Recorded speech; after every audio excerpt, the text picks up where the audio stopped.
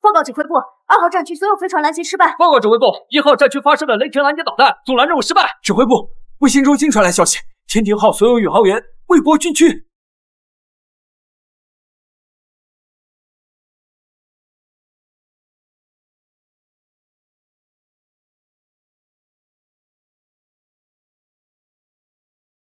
可恶的英国人，不断挑战我们的底线。难道当我们龙国没有核战吗？目中无人，就不怕我们重归？如果再早一点掌握可控核聚变，一定就……谁说没有？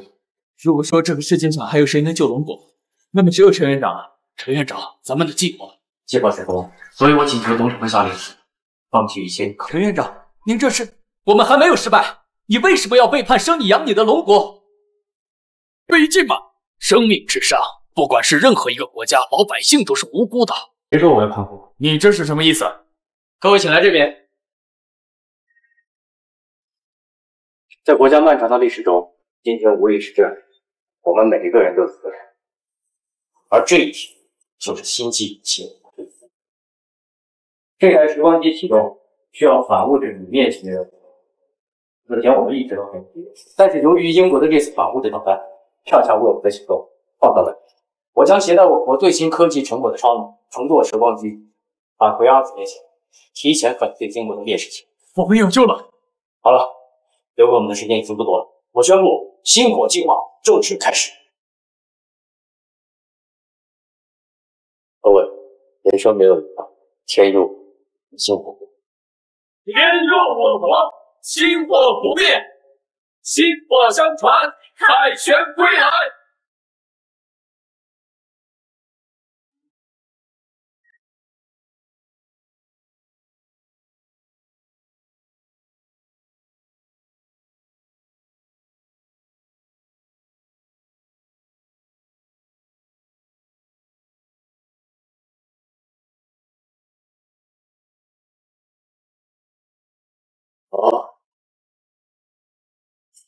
警告！警告！紧急迫降！紧急迫降！损伤严重，时空女神与各群星火机大量丢失，超导已为您自动选择最安全的时间航航对。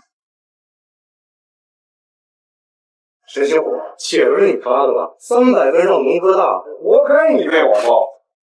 还有，在论坛上上过些示爱的也是你吧？啊？是雄心豹咋了？别点着了，给我等啊！打我！叫我表白？不知道这，你还跑？你跑什么？你跑？你还跑？你再跑？走！哎，这这好像死了，死了。都别说，都别说。住在超市被网暴自杀的，自个儿死。啊，对，走走走，我们走，快走！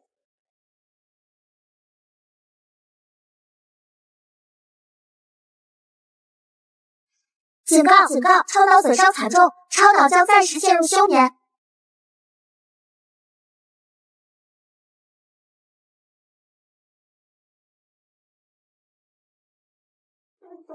你知道陈英国怎么死的吗？不知道。他们在那个学校能不能上那个农科大，然后被网暴了。叔叔阿姨，谢谢。多谢，谢谢你。这么搞笑吗？三百分还能上农科大？找大专上吧，四个三上农科大，回家种田吧。他不会是因为上不了大学？别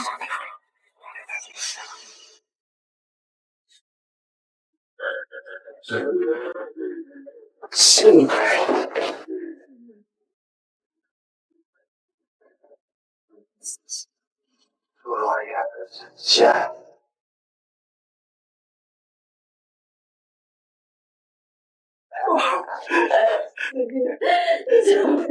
宝贝儿，宝贝儿，宝贝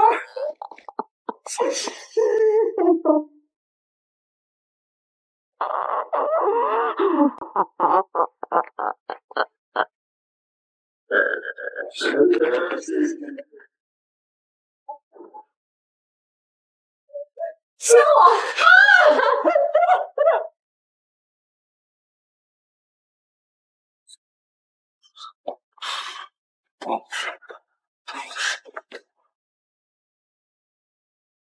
已成功破降到二零二三年，超脑损伤严重。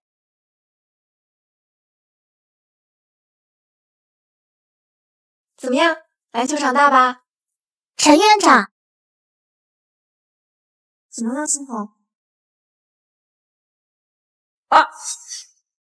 陈星火，哎呦，自杀不成，真是老天不开眼啊！怎么又让你活过来了？王磊，你别欺人太甚！这不关你的事儿。陈星火，你躲一女人面前，算怎么个事儿啊？哎，别走，别走，别走，别走！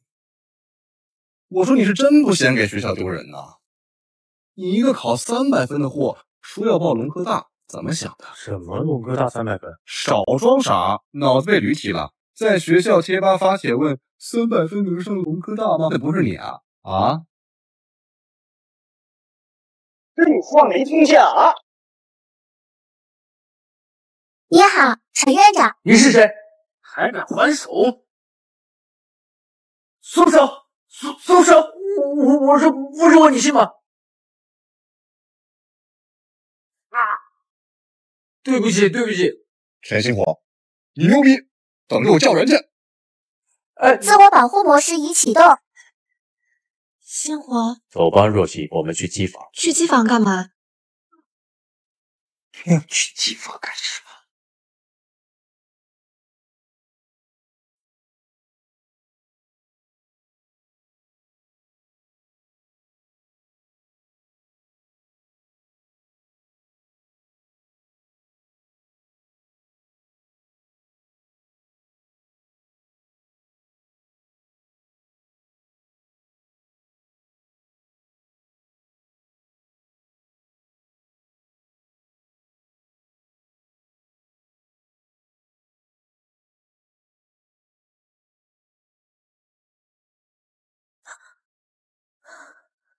都这么晚了，走吧，星火。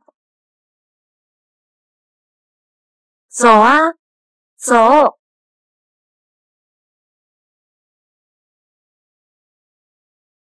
龙国太阳工程第五百二十三次点火授权确认完毕，高功率射频波加热系统启动，托卡马克超导磁约束系统启动，等离子体温度上升一千万、两千万、三千万。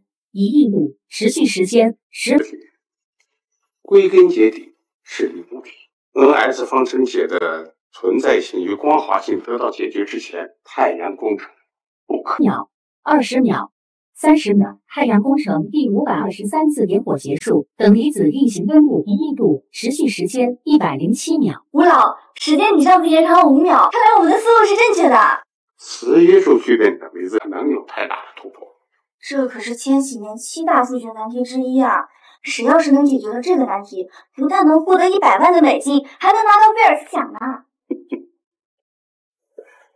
如果能够解决这个难题啊，别说发一个贝尔斯奖，就是发十个贝尔斯奖都不算为过呀。可惜啊，现在能直面这个难题的天才数学家寥寥无几。我已经委托华清大学的乔老。准备将他的孙女乔一菲调到我们研究小组来，就是那个最美数学家乔一菲。听说他二十岁就获得了普林斯顿大学的博士学位呢，被称作龙国最有可能三十岁之前拿到菲尔兹奖的最美数学家。就是他，如果一菲能够过来帮忙啊，我们的实验进度可能会加快。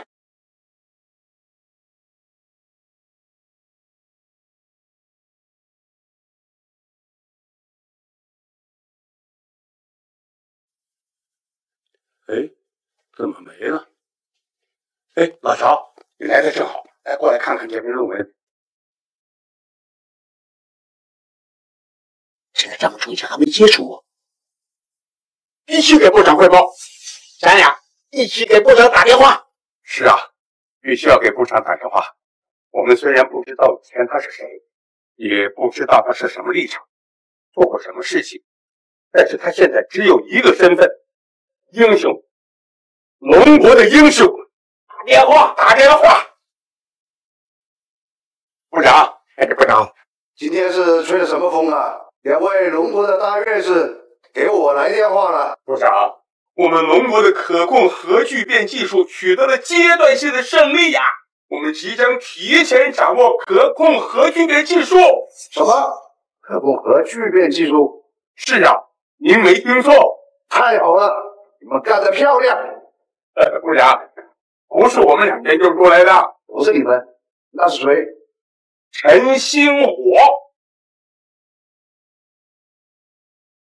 你好，一飞啊，你怎么上来了？我听我爷爷说，有位天才解决了恩兰芬方程对着存在性和光感性的问题。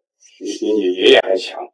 来，你先看看这个，然后再说说你的看法。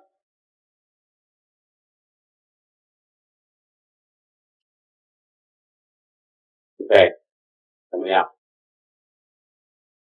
我要见这个陈星火。昨天数学联考的成绩出来了，咱们班的平均分从全校第二倒退到了全校第四。我知道这次数学考试很难，但是这不是你们成绩倒退的理由。当然了，我说的这是不好的一面，也有好的一面啊。全校的第一名、第二名都在咱们班啊。那第一名、第二名肯定是王磊和楚若曦，他肯定是第一名。第一名、第二名分别是楚若曦和王磊。我就说吧，肯定就是他们两个。安静，安静，安静！楚若曦和王磊同学两个同学本来成绩就很好啊，这一次大家都知道有一道附加题。当然了，这道附加题楚若曦只差最后三步就做出来了，而王磊同学就比较可惜了，只做对了前三步啊。值得一提的是，这道题目有一个人。全部流程都给做出来了，而且非常的准确。谁呀？谁呀？谁能做这个？做出来？谁能做出来呀？这个人就是陈星火同学。我操！谁我是抄的？滚！滚！连我都看到最后三个步骤没写出来，你说他抄袭？他抄谁？抄一个只会写出三步的废物吗？那肯定是提前知道答案了。那更可笑了。你说他提前知道答案，那他为什么不是第一名？陈金虎，你自己说你是不是抄的？那都不是我写的。系统将自动为你匹配正确答案。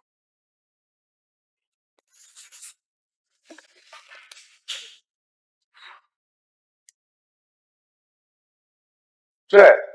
是去年在布达佩斯举办的国际数学奥林匹克竞赛第三轮的压轴题，他要求解题者证这个结论的正确。你要是能解出来，我就承认你。陈金火，你不会是怕了吧？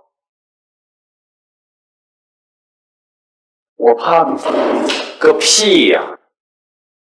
我怕你。个屁呀！对，我怕。怎么着？还要我亲自请你上来啊？不是，不是，来，证明给我看。什么呀？下去啊！下去啊！水不行了，下去！不下来！什么呀？怕了就直说，我不会难为你的。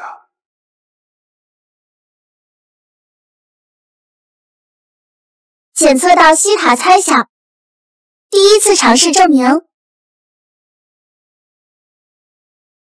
你干嘛？再不跑，你还这个人去站住！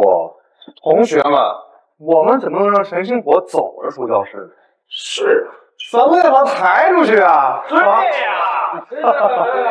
若曦，这不关你的事儿。我我我我。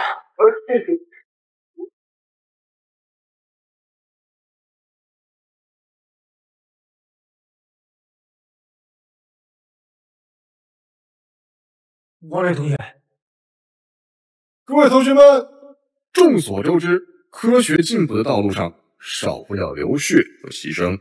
你。能在前进的道路上做出牺牲，是你的荣幸。这个兄弟们的一点心意。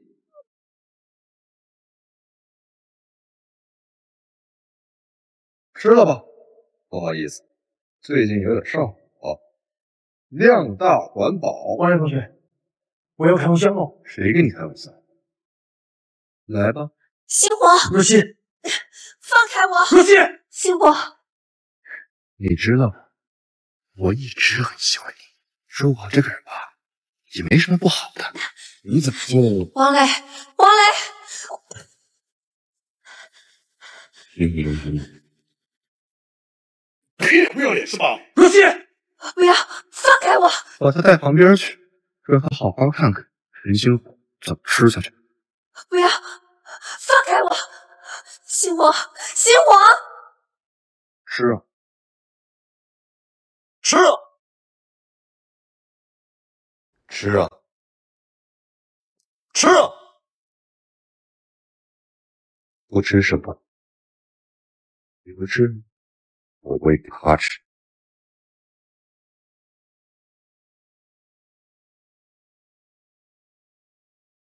不是。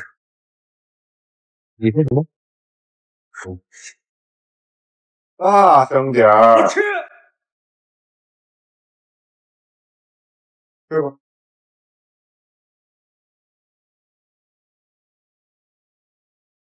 一点都别剩啊！让他自己来吧。放手！星火，不要！星火，不要！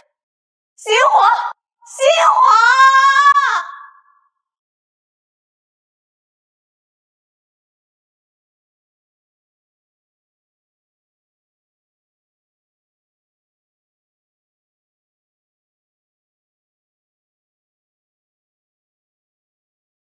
放开他！你就是陈星火是吧？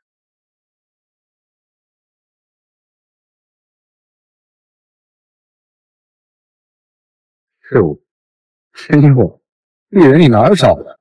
戏不错呀，又是直升机又是战车的，特别是旁边这个妞，前凸后翘。你在说什么呢？哎呀，这一生气啊，更有魅力了。我说，陈星火给你几个子儿？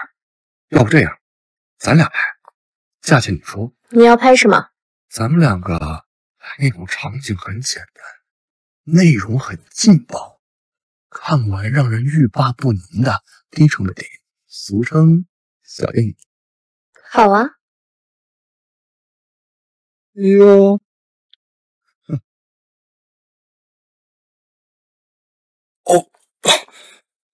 我要告你！我倒是认识几个修订宪法的老友。你又是哪儿来的？给我带走！你你你干嘛？这人怎么这么猖狂？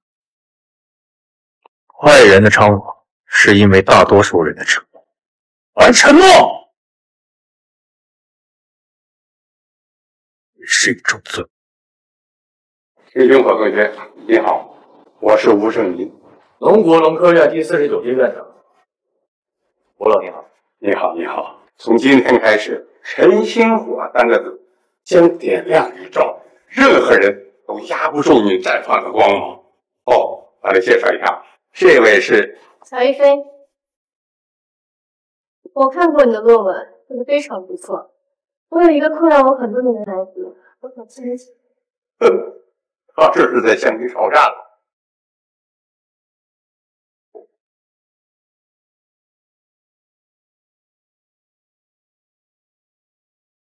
陈同学，这道题你能解吗？这位老师，你出了一道快一百年都没人解决的数学难题来考验我，是不是太瞧得起我？这叫做冰雹猜想，距离首次提出来到现在应该有八十多年。据我所知，到目前为止还没有任何一位数学家可以解。被你看穿了，让快点。但是我没入伍呢。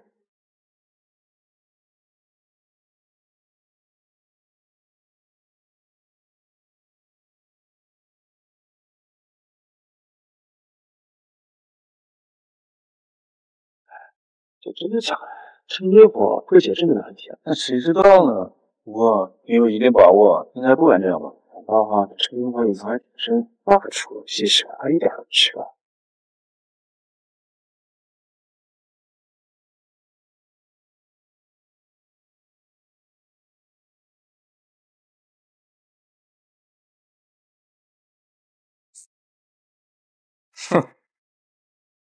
整体证明思路大概就是这样。我省略了一些过程，如果要把过程全部写完的话，至少还需要七八十张黑板。整体证明思路啊，没有什么多大问题，但是细节部分我还需要再验证一下。如果能顺利通过的话，以后啊，你这个冰雹猜想就是冰雹定理。陈同学，请问你有那个兴趣来我们旁边？哎，吴老，我高考只考了三百分，能不能上总科？嗨，你别说三百分喽，你就是现在躺在鲁科大门口喊那么一嗓子，小爷我累了，谁扛我进去，我就进你的学院。我相信上头几个校长，下到分院的院长，一个个那是争先恐后。你想我呀，扛都给你给扛进去，啊，就看谁会抢了。吴老，哪有像您这样抢人的呀？陈同学，请问你对学校的住宿条件有什么要求？那些都是身外之物。对，都是身外之物。如果说有个经常穿黑色的姐姐，该注意几分？如果说有个经常穿黑色的姐姐，该注意几分？陈同学，你喜欢什么？兔耳朵、猫耳朵，还是小的？我喜欢翠。乔姐，你说话，哼，非常合。一飞呀，你你，哎呀，我的速效救心丸呐！哎呦，还是斗不过你这个老狐狸。其实啊，你不用着急做决定。以你的数学水平呢，在任何一所大学都绰绰有余。不过呢，我有题？一个月后就要举行国际数学奥林匹克竞赛了，以你的水平，完全可以代表国家队参加。喂，我是啊？什么？好，好，好，好。等等我，我们可以说。星火同学，刚刚得到消息，英国人宣布他们国家取得了一项里程碑式的成就：劳伦斯利弗莫实验室激光惯性约束推背点火成功，首次取得净能量回应。我现在马上回北京开会。假的，假的。激光惯性约束聚变是一条死路，我怀疑英国人这是在实施战略作战。如果我们在这个时候放弃烧掉多发法，这势必会破坏我国核聚变领域。嗯。哎，对。星火，你这是要去哪儿？去趟科学院，过几天就回来。哦，嗯，那你还参加国际奥数竞赛吗？嗯。那个，我入选国家奥数集训队了。你参加的话，我就参加了。什么参加不参加的，爱去不去。好了，到了机场记得给我打电话。对吧。嗯。那我走了。好。嗯，等会儿，不要靠近他，穿黑丝的没有好人。我跟你保证，三米之内有他给我。好。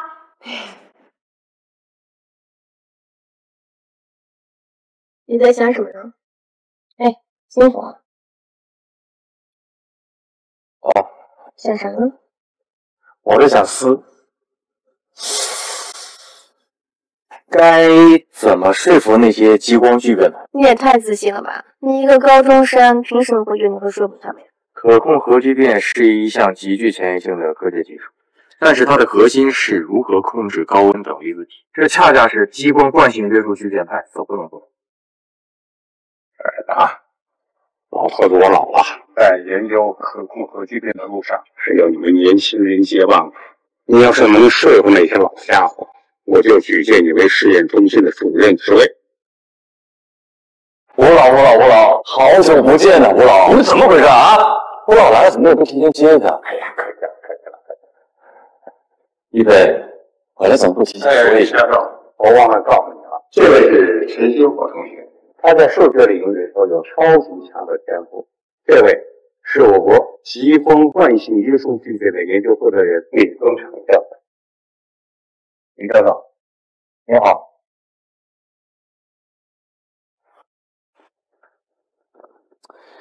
吴老，今天呢，是我们国家聚变科学界的最高会议，有什么阿猫阿狗都可以来。你说谁阿猫阿狗？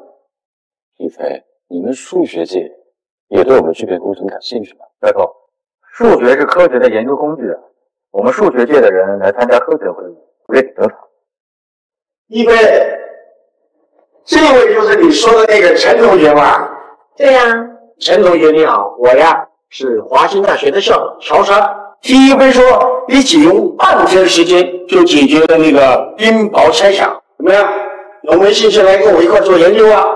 只要你的冰雹猜想学生论文顺利发表，我立马升你做教授。你说呢，我当大教授？当然，让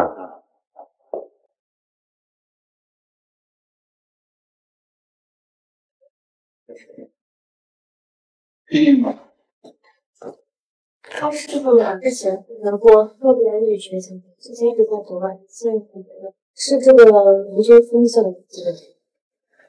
这么说，他今天是个小孩，就说同志们，想必大家都已经听说了，英国人率先在激光聚变领域实现了 Q 值大于一，这是一个历史性的突破。我们呢，已经落后于英国人了。接下来呢，大家都畅所欲言，说说自己的看法啊。我早就说过，激光约束聚变才是未来，英国人已经领先我们一步了，我们不能落在别人后面，所以我建议加大对激光约束聚变的资金投入，减少跑到波卡马克的放屁。说谁呢？我管你谁。这位是哦，哎呀，这位是我国新锐数学家陈星火先生，也是我伦科院可控核聚变工程实验室中心主任。嗯，星火接着说，哎，英国人现在目前所谓的增大，更多情况下是基于科学层面的而言。然而，想要具备实用价值的话，至少要满足增益大于一百。你说的更多是物质上的因素，至少从理论上来看，激光惯性约束聚变是一条死。你别这么说。陈先生，说说你的理由。对，看，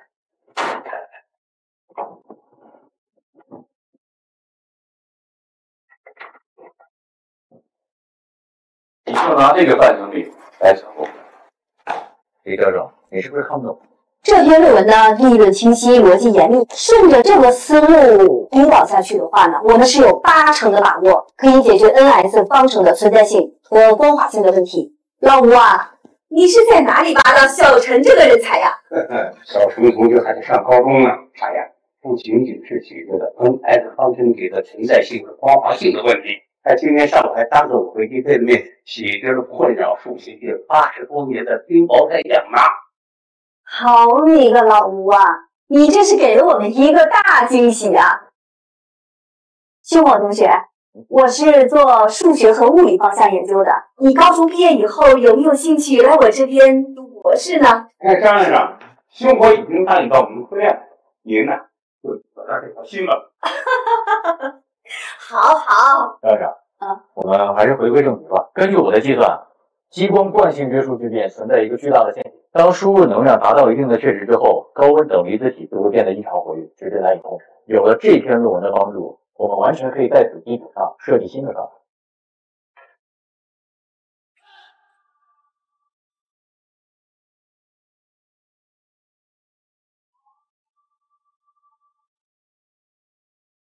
从这里我们可以看出，聚变能量超过这个值，高温等离子体反而会多。这么说，英国人在核聚变里走到一条绝路。我怀疑英国人早就发现了这个现象，但是他们找不到解决的办法，于是他们将计就计，向媒体谎称激光惯性约束聚变取得了巨大的进展，从而对我们龙国正在实施的核聚变领域产生错误的引导和干扰。陈星火同学他的推论呢，不无道理。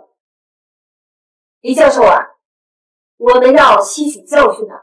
下面我们支持超导托卡马克方向的，请举手。嗯，好，表决通过。一会儿到财务室签个字，期待我们实验室早日实现太阳工程的。就让他们先走了。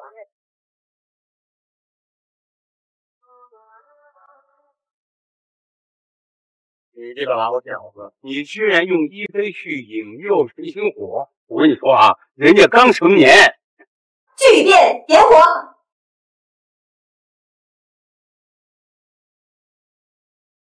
散会。爷爷，没事。谁让我们家一飞呀长得这么漂亮？再说了，咱们家一飞呀学数学的，眼光高。我呀还头一回看到他对一个男人呢流露出倾慕的目光。像星火这种绝世天才呀，就我们家一飞配得上。一菲姐，嗯，这哪儿啊？我家。家？嗯，我这边有个两居室，我一个人住也挺无聊的，刚好你过来了，陪陪姐姐呗。一个人住两居室确实无聊。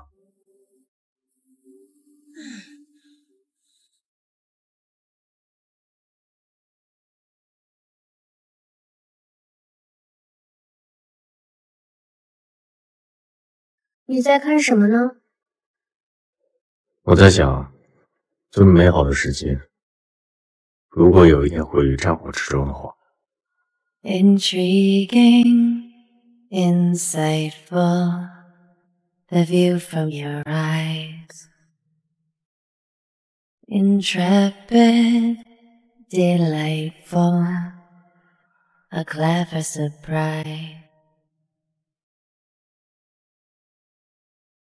我我去洗澡。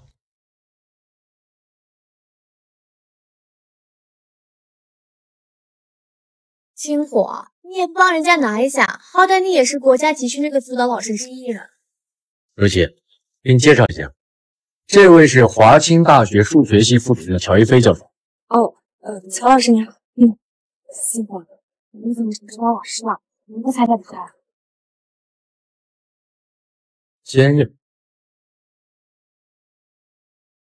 我们的计划失败了。龙国并没有选择激光惯性约束聚变方向，依旧朝着超导托卡马克方向前进。据说一名高中生阻止了他们，他解决了 N-S 方程界的存在性与光滑性问题。他叫什么？陈星火。陈星火。我听说陈星火将代表龙国前往洛杉矶。参加国际数学奥林匹克竞赛。另外，他投稿了证明冰雹猜想的论文。听说你跟乔一飞老师关系很好嘛？没有啊。你都住到他家里去了。他们说住在酒店不方便吧？那住在他家就方便啦。明天就出发去英国了，你行李什么的都收拾好了吧？收拾好了，擦擦嘴巴，傻样。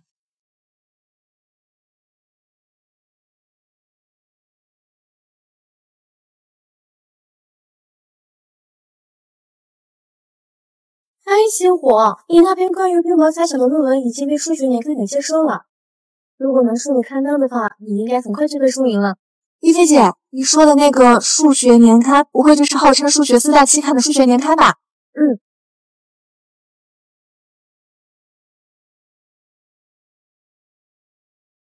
哟，这不是要回去报效祖国的乔一飞吗？怎么国内混不下去，又想回英国了？杨涛，是你啊！我现在啊叫 John James，你得叫我詹姆斯先生。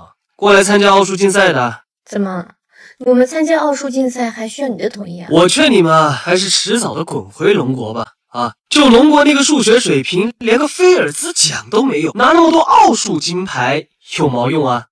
一菲姐。这位商务男士是谁啊？就一个狗腿子而已。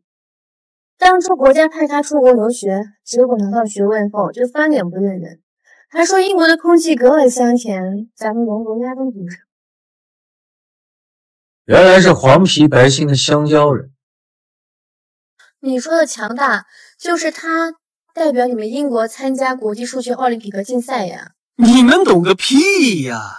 这国际奥林匹克数学竞赛是小孩玩的游戏，这一位才是真正的数学天才。就在前几日吧，琼斯呢亲自验证了冰雹猜想，还登上了四大期刊之一的英国数学杂志呢。明日啊，可就见报了。我们先走吧。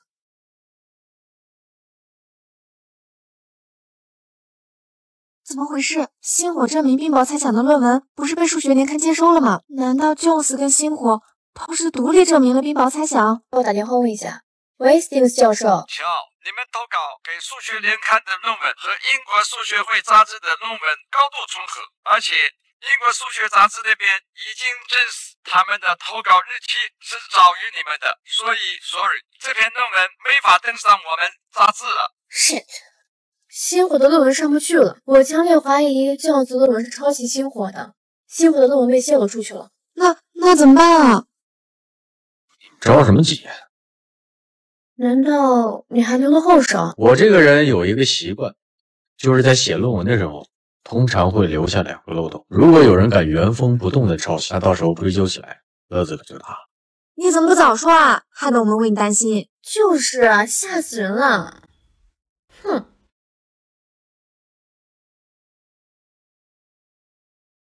面我宣布，获得本届国际数学奥林匹克竞赛金牌的是琼斯、陈星火，恭喜他们！首先有请我们的英国天才少年琼斯同学上台。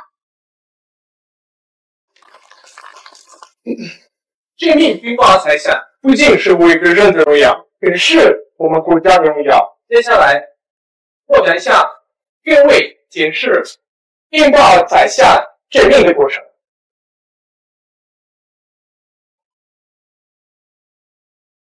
有次可以的是正整数，x 如果是正整数，那就但是如果奇数，那就乘三再加一。嗯。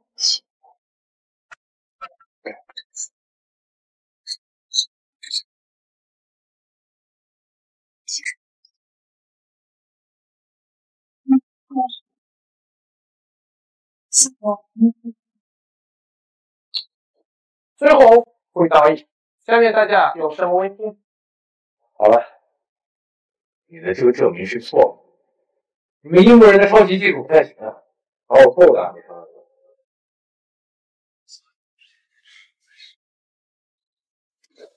陈星火，你胆敢污蔑我们英国的数学天才？赵少，没有问题，什么问题？我的问题就是。今天你要是不把话说清楚，你休想走出加州理工。这位同学，你刚才说琼斯抄袭你的错误答案是什么意思？我这个人有一个习惯，就是喜欢在自己的论文里加一些小漏洞，拿去见稿的时候，如果被看出来了，那自然是皆大欢喜；如果没有被看出来，那在最终见稿前，我也会把漏洞都给补齐。但是没有想到的是，有一天我的这个小小的习惯。会帮我抓住抄袭者。就在一周前，我抵达洛杉矶的时候，我收到一篇消息，消息的内容是我本人关于冰雹猜想的论文被数学年刊给拒稿。拒稿的理由是有人提前把论文上交给了英国数学年刊，投稿的时间比我还要早。啊，是我承认，这个世界上总会有一些天才会走在我的前面，但前提得是这个证明是这位天才自己想的。但我没有想到的是，这位自称证明了冰雹猜想的天才。连我故意留下来的漏洞都没有看。按照这个解题思路，根本就没有办法证明冰雹猜想。按照这个解题思路，根本就没有办法证明冰雹猜想。你说我不在哪里？有人来给我指出来。如果指不出来，我就去法院告你。你等着吃牢饭。陈星火，你们龙国人自己的数学水平差，就嫉妒我们英国有琼斯这样的数学天才吗？还故意污蔑琼斯？陈星火同学，你刚才说琼斯的证明存在漏洞，请问漏洞在哪里？通过傅里叶分析，我们可以得出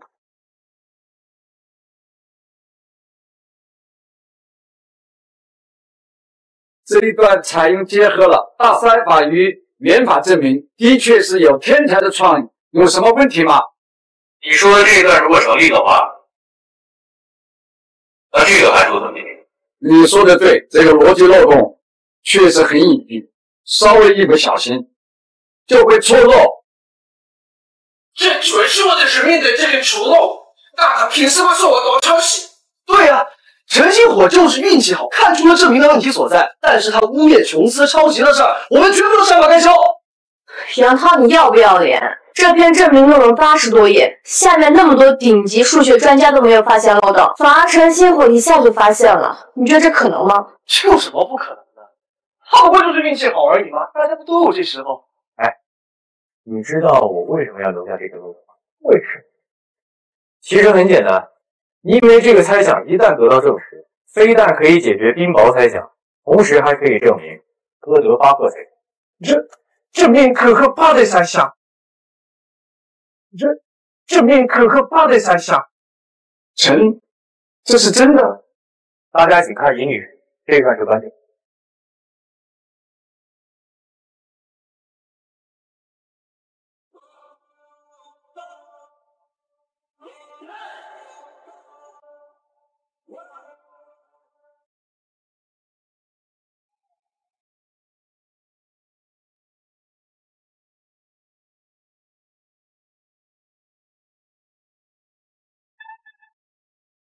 由此，哥德巴赫猜想得证。斯蒂文森教授，非常感谢您为我仗义直言。我只是站立在真理这边。陈，有兴趣加入我们高等研究院吗？以你的才华，完全有机会对千禧年七大数学难题发起冲击。哎呀，老师，哪有当着面挖人家人才的呀？教授，非常感谢您的邀请，但是我立志报效于我的祖国。不过您要是愿意的话，可以来我们龙国任教，毕竟科学无国界嘛。金宝，不好了，我刚刚看到边关被英国的军队占领了。我去打电话。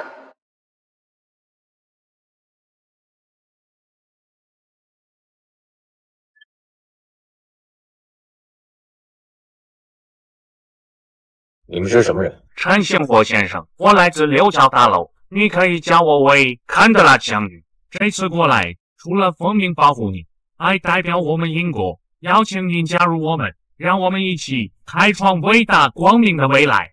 哦，我不。坎德拉将军，秦先生是远道而来的客人，你这样的作为不是我们英国的待客之道，你太让我失望了。来人，送他出去。我告诉你们，你们后悔不的。住手！谁敢上面？将军，你最好想清楚，我女朋友呢，现在在上面换衣服。如果你们现在上去的话，那就别想再让我跟你们合作了。陈先生，别急，我们没有别的意思。哎，亲爱的，发生什么事了？没事，不过就是几只小苍蝇而已。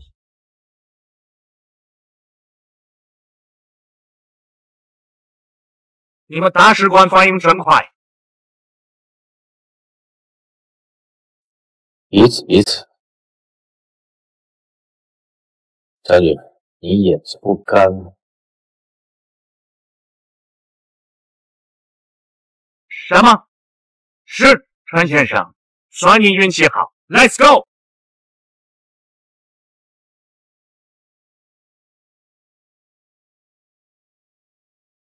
坐着舒服吗？啊，某人刚刚摸着就舒服呢。不是演戏吗？一菲、若曦，你们赶紧收拾一下，我们马上回国。这么着急干嘛？英国人出尔反尔惯了，这次是因为我们态度强硬，等他们反应过来，说不定又要出什么幺蛾子。快走吧。该死，就不该相信，一群丑稚！威廉先生，请注意你的言辞。我们都知道你来自于未来，但是你也没有资格对我们的行动指手画脚。你们根本不知道陈星火的威胁有多大。我当然知道，你带回来的资料已经充分证明了陈星火的威胁性，但龙国为了他不惜开战，我们双方都是核武大国，开战对谁都不利。所以我才说你们是猪脑子，人家根本就是虚张声势，我们都没有开战的决心。你觉得龙国有啊？你是说龙国要故意和我们开战？你才意识到，马上去拦截陈俊火飞机。Sir, too late。龙国的飞机已经飞出英国领空，目前正在龙国航母战斗群保护范围。现在再去拦截，那就真的要开战了。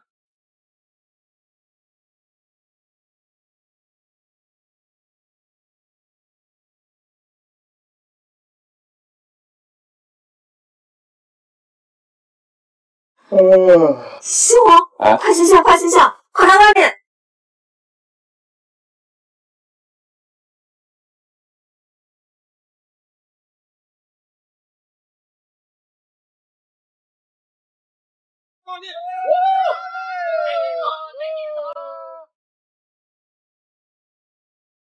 星火同学，欢迎回家。下这么大雨，您二老还亲自出来接我？这就对了，这样更能体现主神的重视嘛。我今天代表国家要宣布一项任命，什么任命？从即日起，正式任命陈星火同志为龙国可控核聚变工程首席科学家。你将可以从全国各大高校及科研院所调用你所选用的人才，参与到可控核聚变工程研究中来。祝贺你！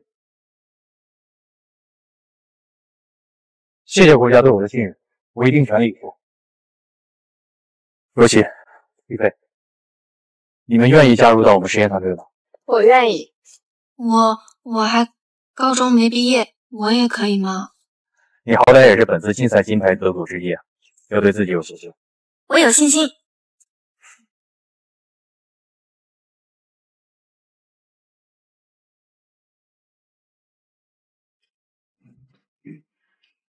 同志们，欢迎大家参加龙国可控核聚变实验堆首次选题会议。作为项目的首席科学家，今天我将从实验堆的理论、工程实现以及面临的困难等方面，对我们的工程实验做一个全面的梳理。首先可以明确一点，随着 NS 方程解的存在性与光滑性的问题得到解决之后，我们可以确定的是，超导托卡马克路线就是工程实验的唯一正确路线。但是，这并不意味着我们就没有面临其他的问题。大家请看，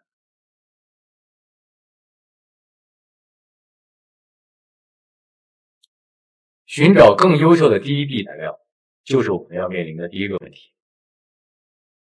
第二点就是，我们要尽快找出能够产生更强的临界电流和临界磁场的超导磁体。第一，B 不到材料确实是一个大问题。我们如果能通过算法设计更加精准的控制等离子体，那么是不是可以降低对第一避不到材料的要求？我们确实可以解决高通量高穿离子体风气问题，但中子不带变，高能中子辐照问题依旧解决不了，工程依旧不具备可实现性。这个第一笔材料确实是个大问题啊！罗琦，你有什么问题？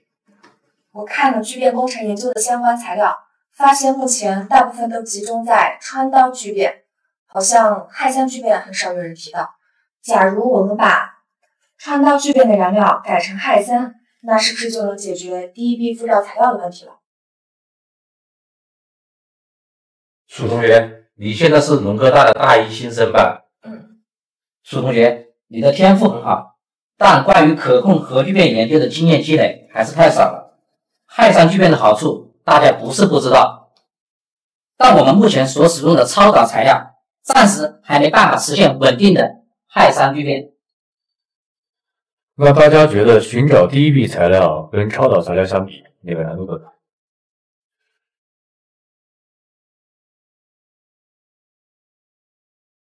就不能同步进行吗？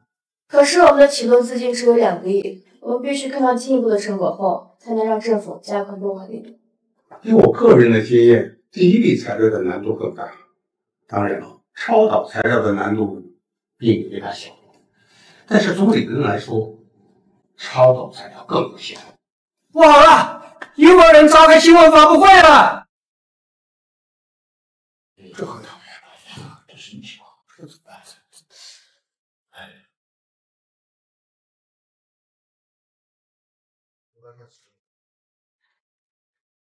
看看他们怎么说。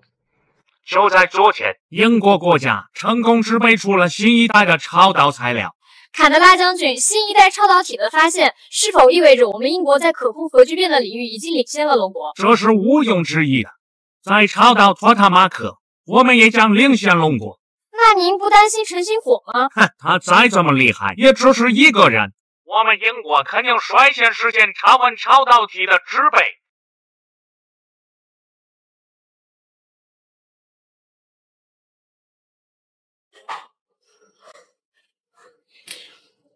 都看着我干什么？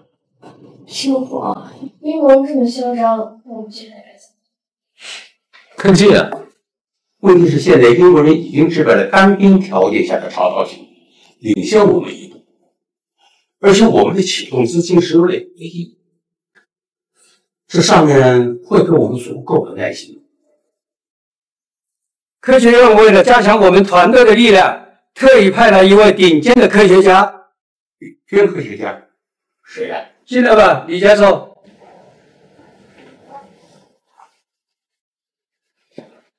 星火同学，吴教授，崔校长，好久不见，好久不见。你怎么来了？您说的这是什么话呀？我好歹也是在核聚变领域沉浸了这么多年。我加入这个小组，不是理所应当。李教授可是激光惯性约束聚变领域的权威啊！你怎么转投到超导托卡马克领域里来了？这人都是要与时俱进的嘛。呃，我确实没有想到激光约束聚变领域会有这么大的陷阱。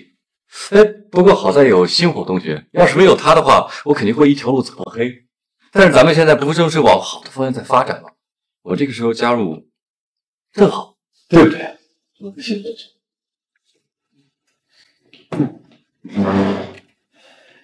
李教授加入我们的团队，我们当然欢迎。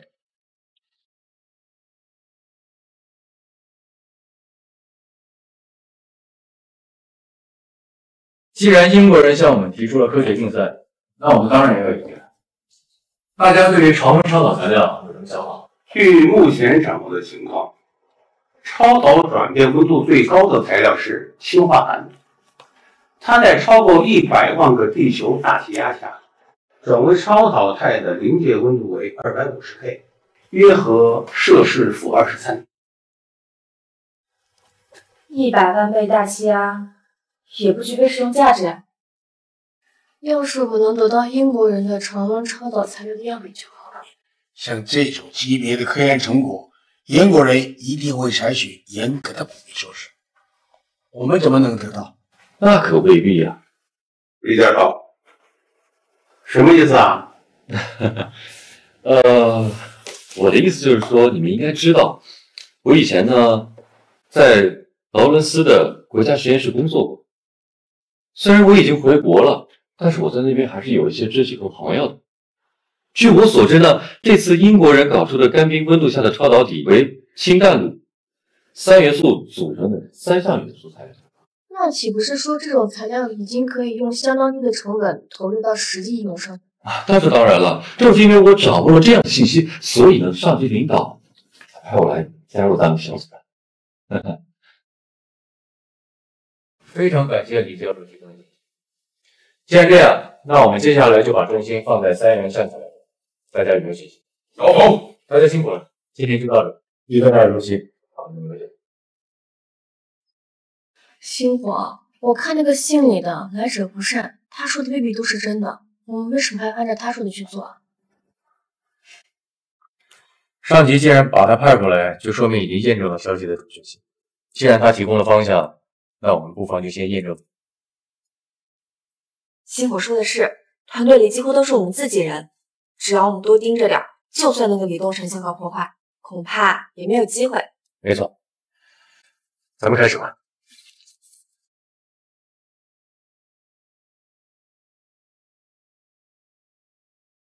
奇怪，卤蛋清材料，英国人到底是怎么做到在十八二百四十五 K 的条件下实现超导的？我们只知道材料的成分，但是不知道配比，只能一点一点尝试了。单纯这么尝试不是办法，我们必须找到高温超导的核心。你能找到吗？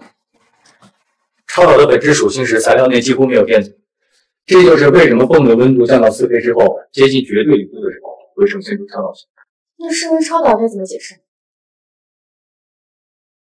首先明确一点，分子之间一定存在相互作用，也就是说一定有引力。所以我猜测，如果要实现超导，至少要满足两个条件。什么条件？你看，第一，分子之间质量分布越均匀的；第二，大质量原子之间越靠近中心位置的。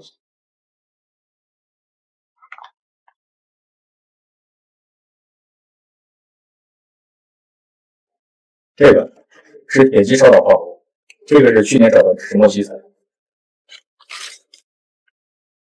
我知道了，英国人用的卤蛋清材料，氮氢原子分布均匀，所以产生了超导性。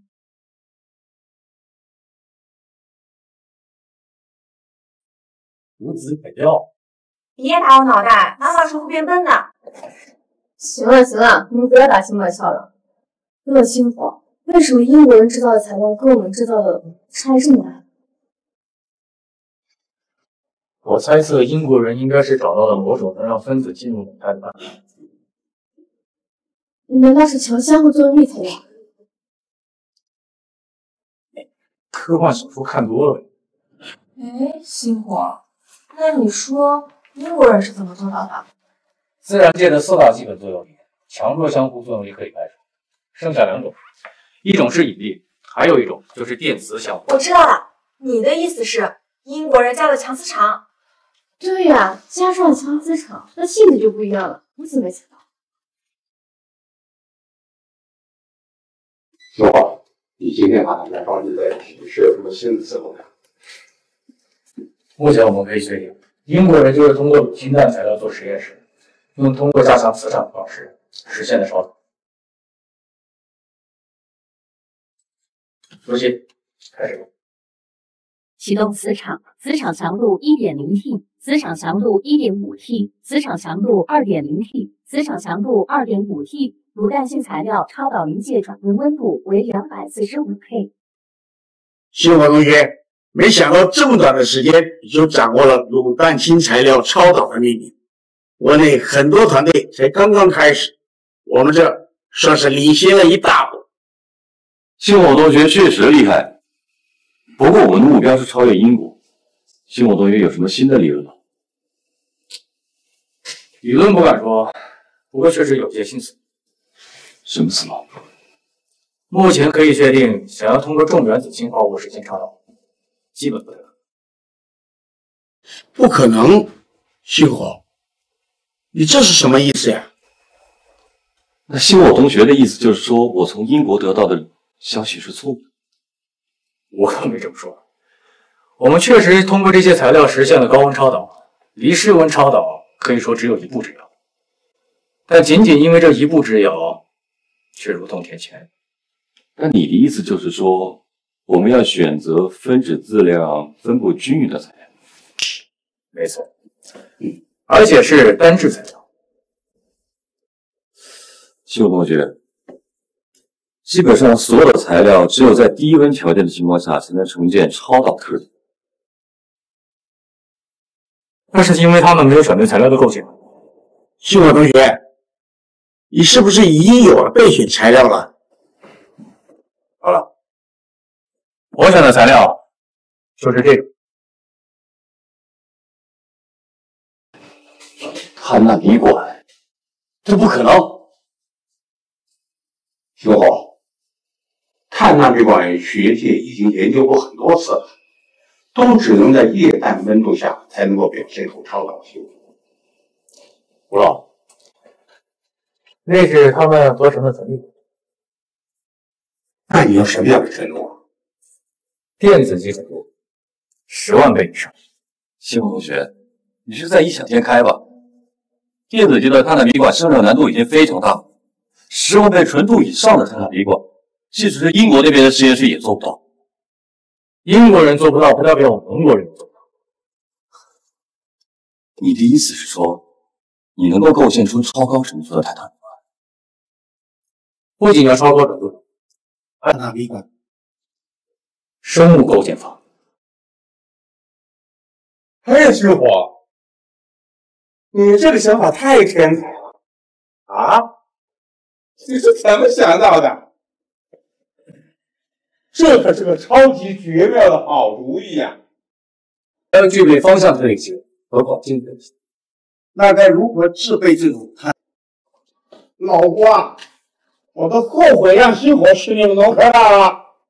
如果是留在咱们华清大学，说不定会有更高的成就。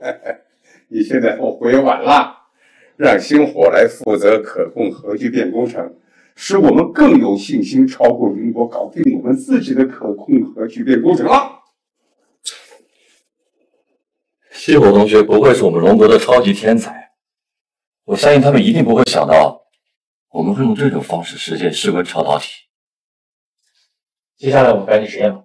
好。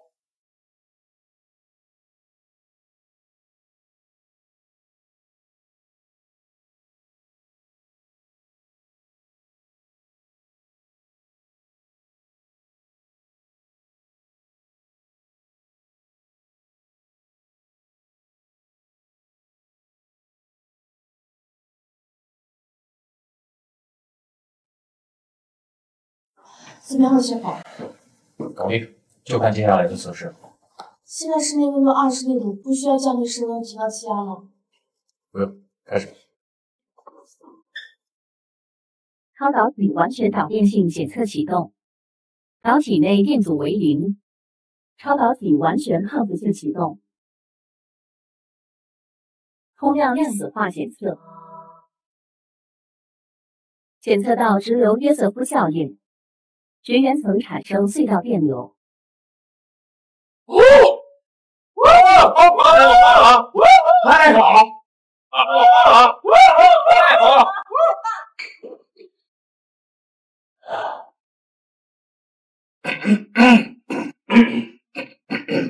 不行啊，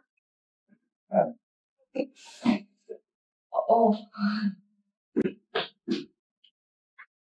我。呃，吴老，咱们明天就可以召开发布会了，向外界正式宣布，我们已经制备出了常温超导体。好，我明天把我所有认识的媒体朋友全都邀请过来，这次啊，我们可得好好的扬眉吐气一把。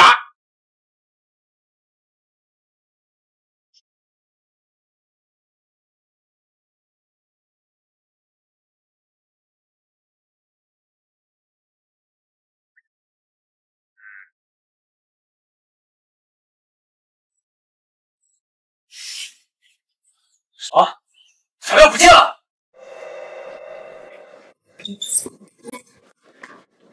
怎么会这样？我来实验室就没看到这个东西。监控查到，昨天实验室关闭以后，有谁来过实验室？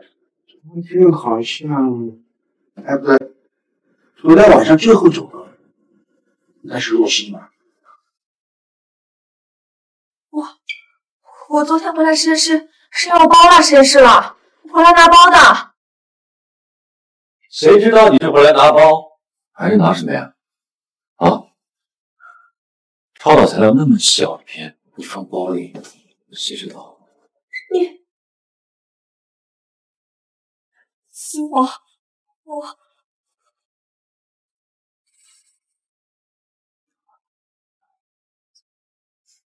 怎么，陈金火，你要包庇他？李东城，若曦她不会放飞做这样的事。不过这段时间，为了证明若曦的清白，楚若曦同学暂时停止调查。而且，星火，你没问题，我相信调查一定能证明我的清白的。最好是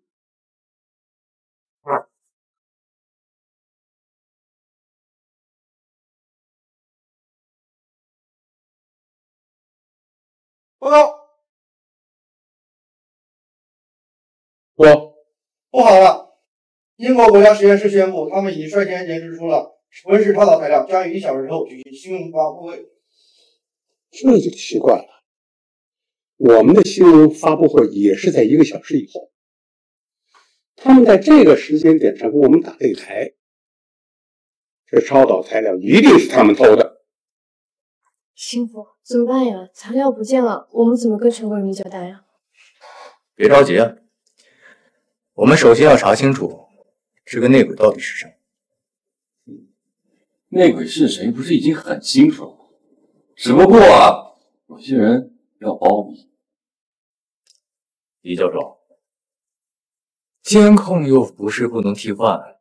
再说，如果有人提前进入了监控室，把监控给调包了，那该怎么说？你所以啊，为了防止这样的情况发生，我提前安排人在监控室安装了一个新的监控。李教授，我们一起拍你。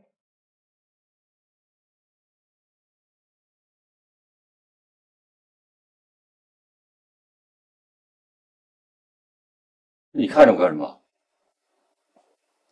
李教授，这双鞋看着眼熟，什什什么意思啊？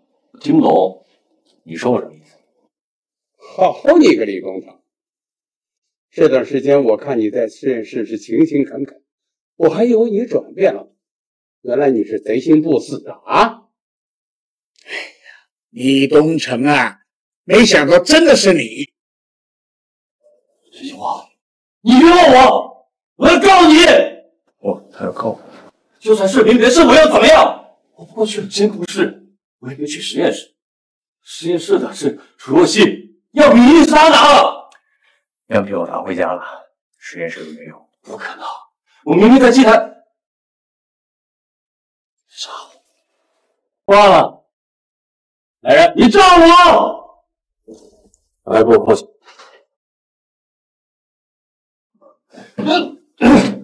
放开我！你给我放开！谁救我？你你别得意，我告诉你，没了样品，我看你怎么跟外面的媒体还有上面交代。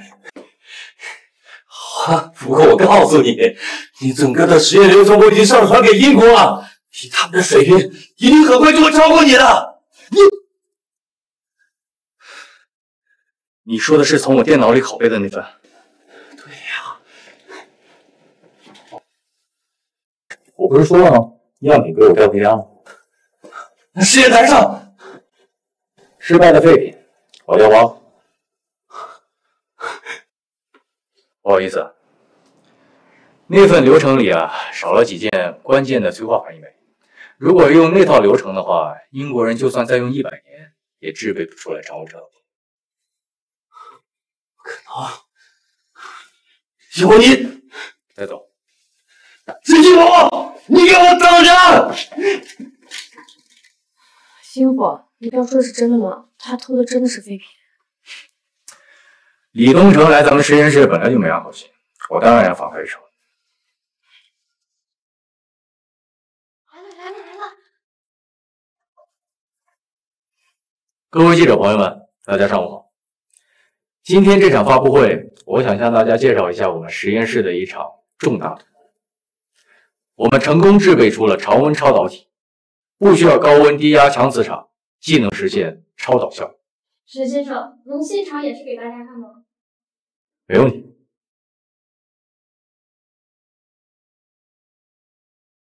大家请看。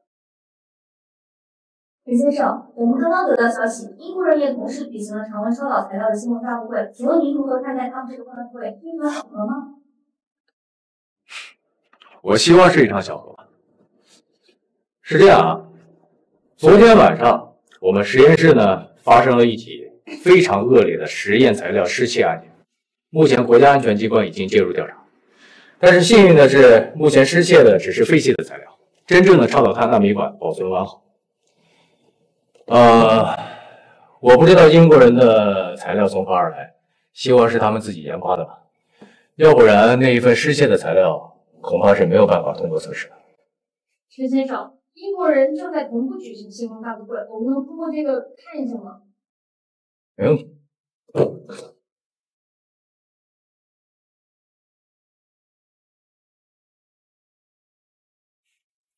就在昨天，国家实验室成功制备出了常温超导材料。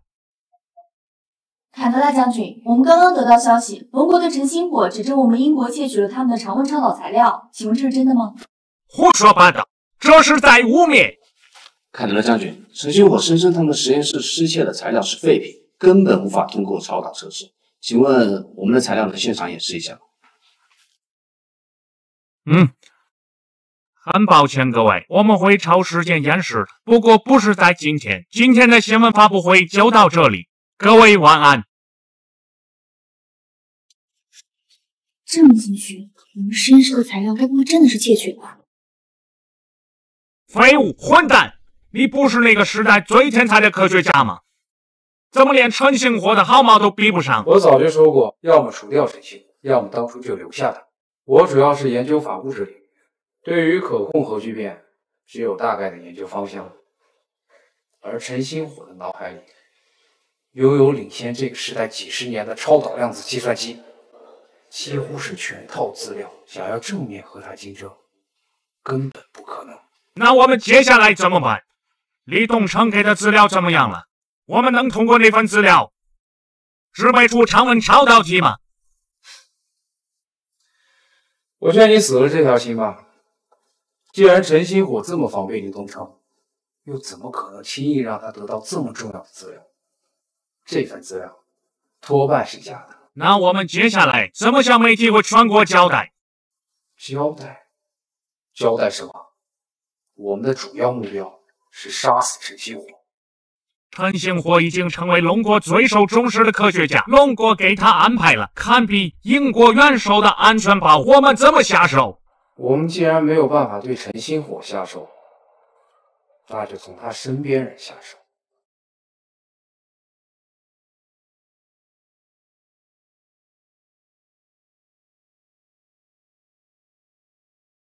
同志们，接下来国家将会对我们的实验室全力支持，要钱给钱，要人给人，大家有没有信心？有。沈主任，接下来你尽管下命令，我们全力以赴。好，那我们不客气了。吴老到，您是可控核聚变领域的专家，接下来工程示范堆的建设就由您来负责，保证完成任务。校长到，您和一飞都是数学领域的专家，N-S 方程解的存在性、光滑性的问题都已经得到了解决，接下来就由您和一飞来负责超导托卡马克的算法和设计。没问题。何心，我在。虽然你加入我们的团队还没有多久，但是进入的状态非常快。我们接下来的工程需要大量的超导碳纳米管，这个工程就由你来负责。好，我一定全力以赴。星火，那你呢？我肯定有更重要的工作。锂空气电池。锂空气电池。三元锂电池的电量密度呢是二百五十瓦时每千克，锂空气电池是它的五十倍哦。那我们现在电动车充满一次电可以行驶五百公里，如果没有锂空气电池的话，充一次电可以行驶两万五千公里。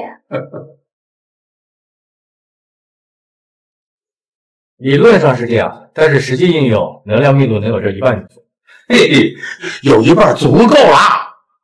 锂空气电池的应用将大大提升我们龙国的军事实力。不仅仅是如此，锂空气电池的运用还可以运用到航天计划当中。到时候，整个太阳系都将是我们龙国人的。我们的征途是星辰大海。太好了。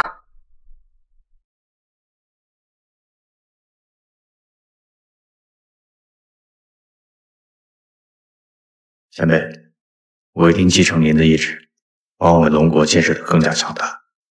不再让悲剧重演。哎，星火，你怎么在这儿啊？找你找半天了都。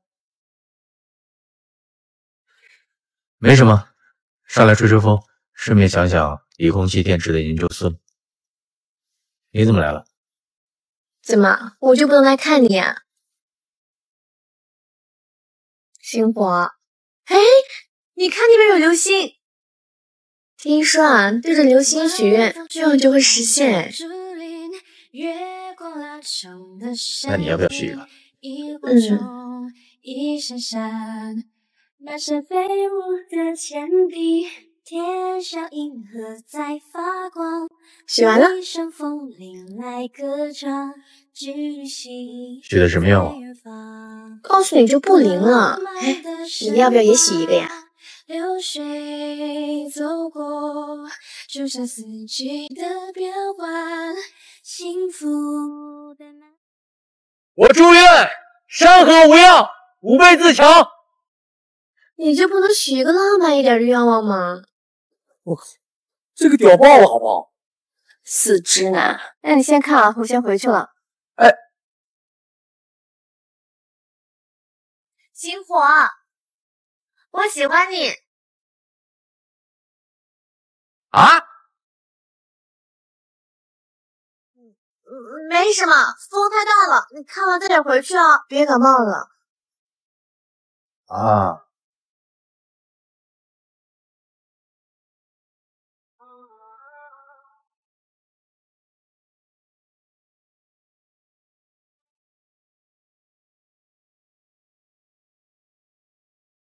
对不起，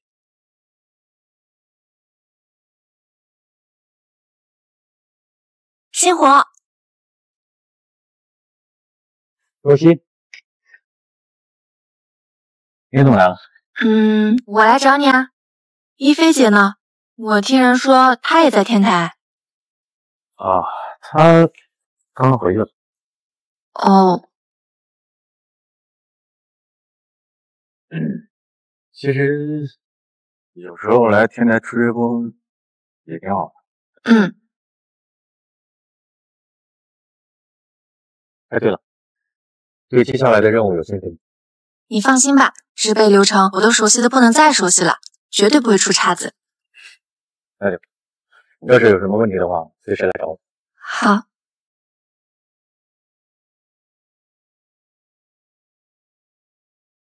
嗯。星火，嗯，嗯，我，我我喜欢。不好了，我爷爷出事了。陈主任，是我工作疏忽，我会自行处分。现在不是自责的时候。那段信息的来源查到了。信息来自境外，对方采用了多层套壳模式，我们很难追踪到。那乔校长的专车呢？查了监控，乔校长下午在农科院翡翠研究所上车以后，直接飘往西山。由于地下车库的监控死角，我们很难查到更多信息。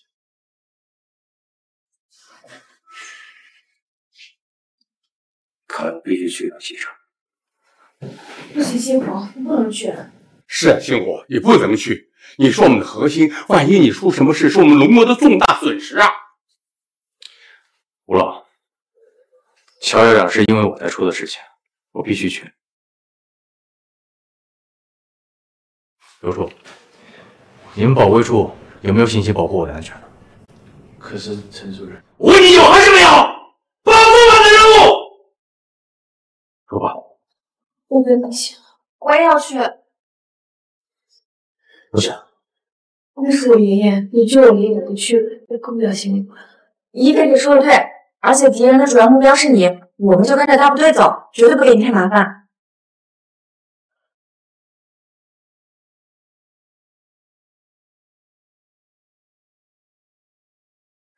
啊，行不行就行，但你们得向我保证，所有活动都得停止。放心吧，吴老，那实验室就拜托你了。放心吧，星火，实验室现在已经全面戒备，我会稍后看。走吧。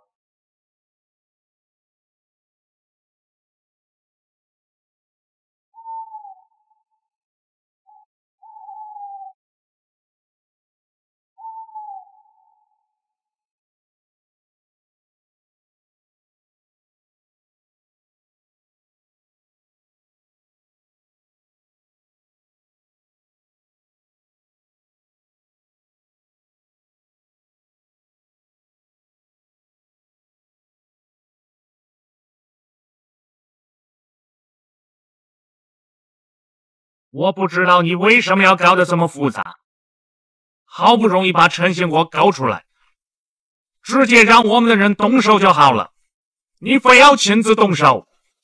你不懂，亲手扼杀一个超级天才的快感，是多么令人愉悦的事情。再见了，我的陈教授。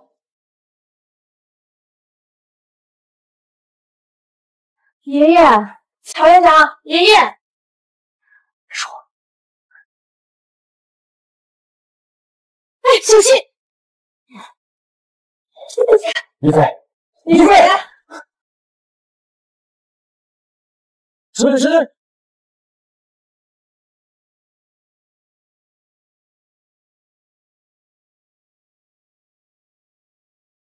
你好。医生，一菲怎么样？沈先生，乔小姐运气还不错，暂时没有生命危险，只是……只是什么？乔小姐遭受了重击，已经进入了不可逆的昏迷状态。这是什么意思？她已经是植物人了。哎，幸好。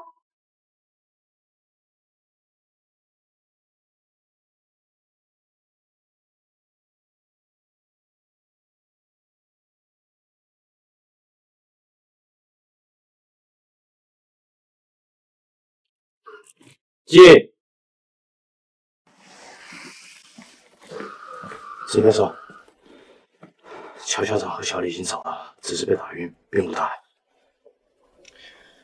人抓到了，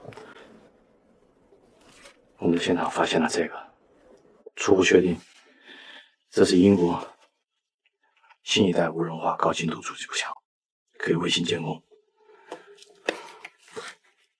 根据我们在英国鼹鼠传回的消息，幕后黑手可能是他。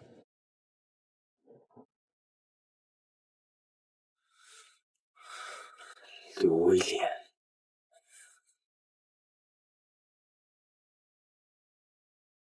刘威廉，shit！我们在龙国还有人手可用吗？我们接下来。基本上不可能再找到这样的机会了。如果不是你，我们早就得手了。六角大楼对你这次很不满。现在是你们求着我，而不是我求着你们。照陈星火这样发展下去，你们英国就等死吧。那里有什么办法？陈星火那个小情人不是变成植物人了？接下来，我们就来一场光明正大的阳谋。What？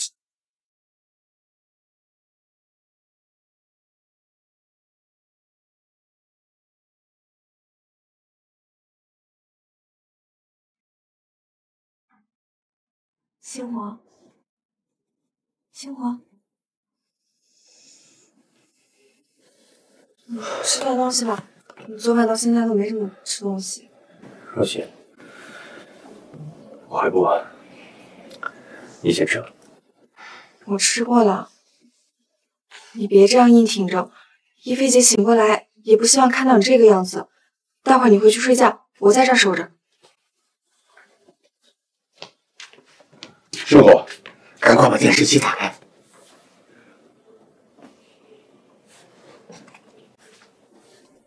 就在今天，我们实验室与英国国立卫生研究院合作，成功找到了人类大脑皮层的应激机制。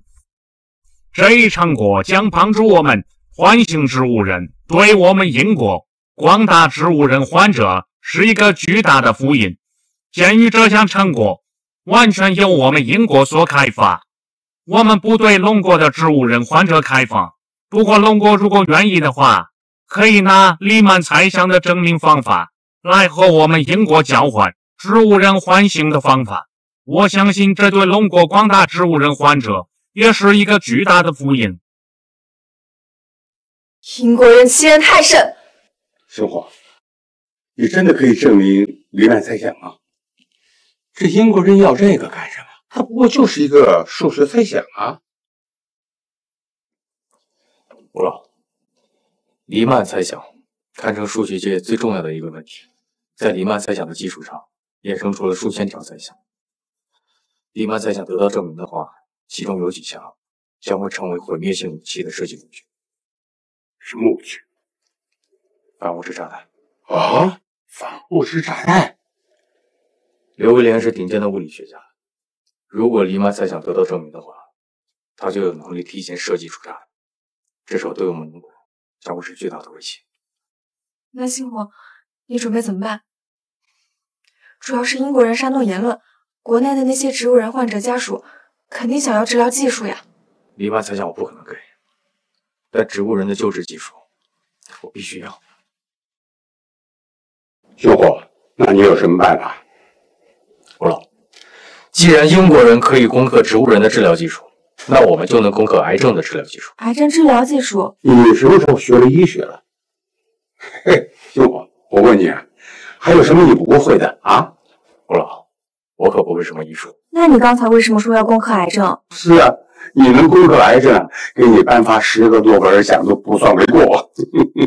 你们都想的太复杂了，若曦，想一想，我们之前都做了哪些研究？嗯，你之前攻克了冰雹猜想、N-S 方程组解的存在性与光滑分问题，还有超导碳纳米管。你是说超导碳纳米管？你们觉得我们现在缺乏杀死癌细胞的药物吗？这个倒不缺。目前医学界面临最大的困境就是如何通过药物精准杀死癌细胞，但是却不损伤其他细胞。哦，星火，我明白了，你的意思是将咱们的超导碳纳米管与药物相结合，精准杀死癌细胞。吴老，嗯，你有认识医学领域的学者吗？我们需要组织一场医学实验。啊，不用那么麻烦，这个医院的胡院长就是我的老同学，直接找他就行了。老胡啊，你看星火这个想法在临床上有可操作性吗？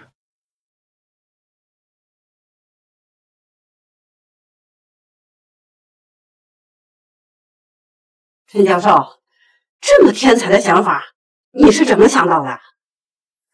胡院长，您的意思是这在临床上有实验的可能性？那当然，现在的癌症药物啊，不是不能杀死癌细胞。而是在杀死癌细胞的同时呢，也杀死了正常的细胞。可是，可是什么？可是我们现在还面临一个问题啊。虽然说现在的医学检测技术已经是很先进了，但是啊，我们往往还会漏掉一些藏匿很深的癌症病灶。你这套治疗方案呢，虽然说对中早期的癌症患者啊，可以有很好的疗效。对晚期的癌症患者呢，可以延长他的生存期，但是要想彻底治愈啊，恐怕很难呐。那可未必。陈教授，你这什么意思？现在我们有了常温超导碳纳米管，就可以直达患者的病灶，精准的杀死癌细胞，但是却不损伤其他细胞。最重要的是，这个治疗成本非常低，只需要十万块，普通老百姓都能够用得起。嗯，哎呀，陈教授，这我可要代表千千万万的癌症患者啊，表示对你感谢呀。都是我们应该做的。对了，志愿者那边没什么问题吧？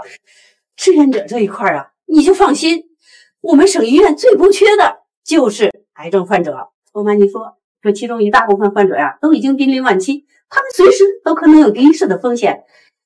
你的这套治疗方案给他们带来了生存的希望，他们肯定会愿意的。那前期工作就麻烦你了。这是应有之义，是我们应该做的。陈先生，那一切都拜托了。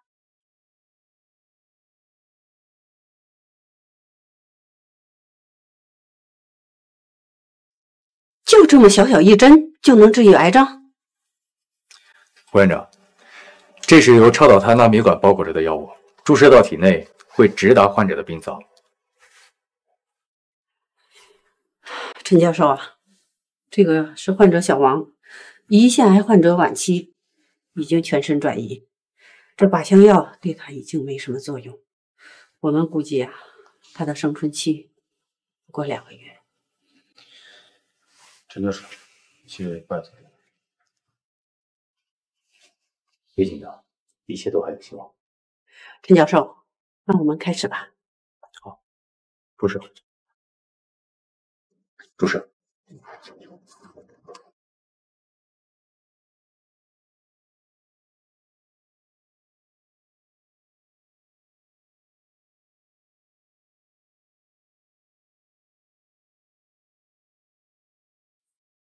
药物复集完成，下一位。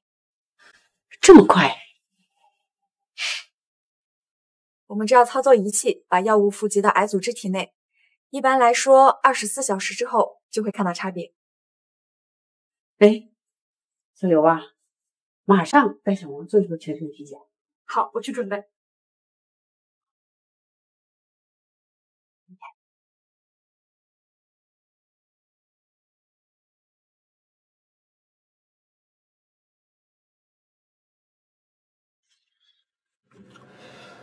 副院长，怎么了？小王刚刚的体检报告出来了，治疗才过了十二小时，他体内的癌细胞已经缩小了三分之一，这各项身体指标啊也都在好转。按照这个效率持续下去，说不定啊不到一周他就能彻底治愈了。另外呀，其他几名参加临床实验的志愿者也都有大幅度的好转，这效果呢超过了以往任何一种治疗手段。现在我们癌症中心都沸腾了，很多的癌症患者啊都希望报名参加这项临床实验。胡院长，省癌症治疗中心的患者都可以参加治疗。哎呀，谢谢谢谢您啊，陈教授，我仅代表那些患者向您表示感谢呀、哎，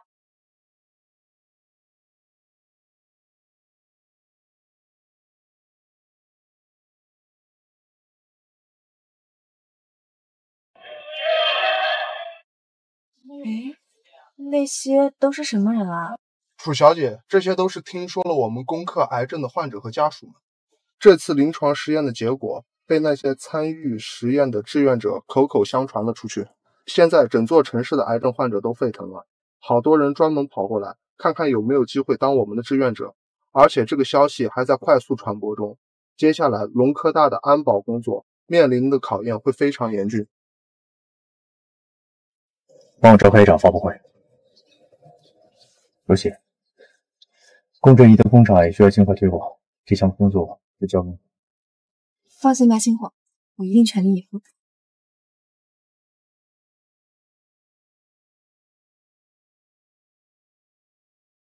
常温超导体的材料有头绪了吗？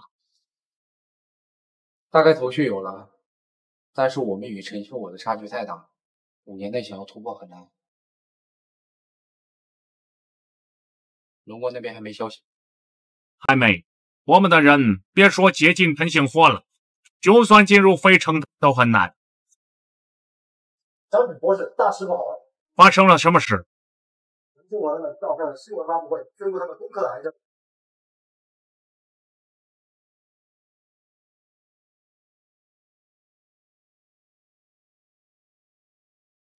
各位记者朋友们，大家好，欢迎参加我们龙科大国家微物质研究中心的新闻发布会。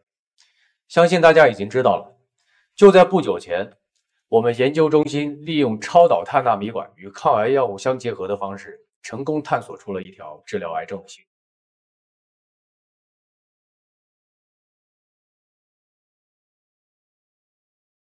我们目前用这种新型的超导核磁共振仪已经分别针对了胰腺癌、肺癌、甲状腺癌还有胃癌的患者进行了临床试验，都取得了非常好的效果。其中一名癌症晚期患者已经在今天下午痊愈出院。哇，陈先生，请问除了这些癌症，针对其他癌症有效吗？原则上来说，这套方案适用于所有癌症。陈先生，龙科大外已经聚集了数百名的癌症患者，还有患者也在陆续赶来，想要加入。请问我们什么时候能够推广全国呢？三个月后，我们将会在全国范围内推广。沈先生，请问这项治疗方案价格高？经过我们的核算，预计整个治疗周期的费用应该不会超过十万块。沈先生，不久前英国宣布攻克了植物人植物患者的治疗手段，并且希望您通过黎曼猜想的证明论文跟他做交换，否则他们将对我们的龙波封锁这项技术。请问您怎么看呢？这个问题问得好。我一直都认为，任何一项救命的技术都不应该成为压迫别人的手段。此前，英国人向我们封锁了他们植物人的治疗技术，那么很抱歉，我们也将向英国人封锁我们的癌症治疗技术。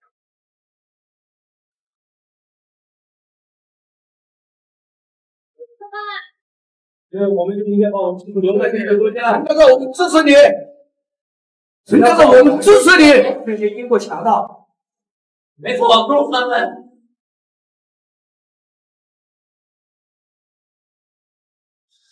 陈星火，我等着。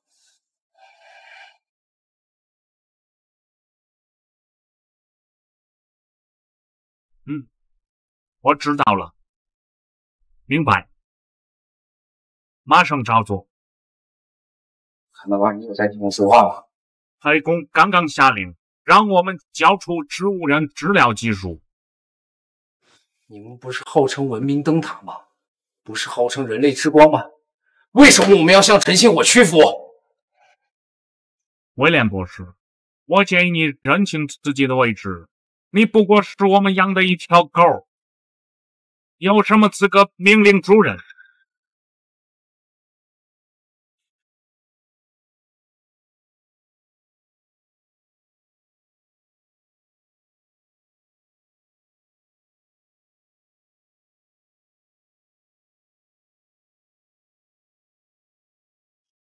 们都很好。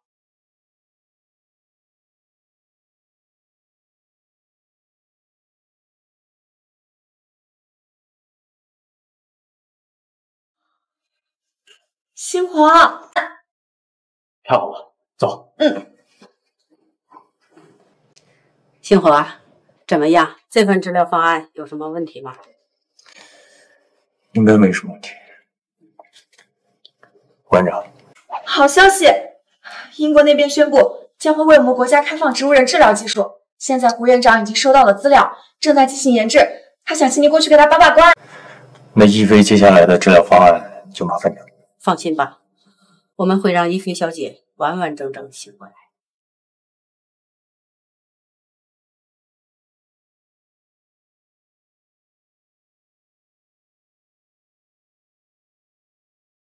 星火，你也别太担心了。如今我们有了治疗手段，一菲姐她吉人自有天相，一定会醒过来的。不谢，谢谢。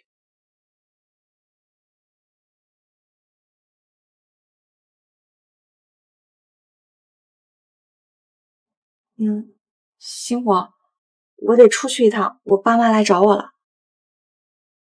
好，回去吧。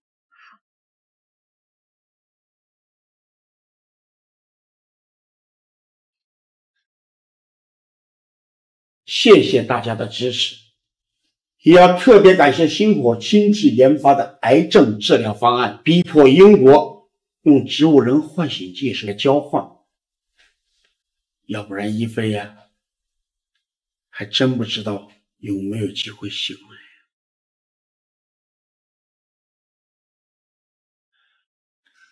乔校长，一菲是因为救我才变成现在这样，您别跟我客气。好了，那接下来咱们进入正题。我们马上就要迎来工程的关键期了，但是因为乔博士的受伤缺席，所以我临时决定让楚若曦同学加入到我们的团队。大家有没有什么意见？我没意见。楚若曦同学在之前的研究过程中已经展现了自己的实力。陈教授，接下来你要专注于理工气电池的研发，有楚若曦同学的加盟，再好不过了。谢谢，谢谢大家的支持。之后我一定会全力以赴我们的工作的。好哦，好哦，好，哎呦！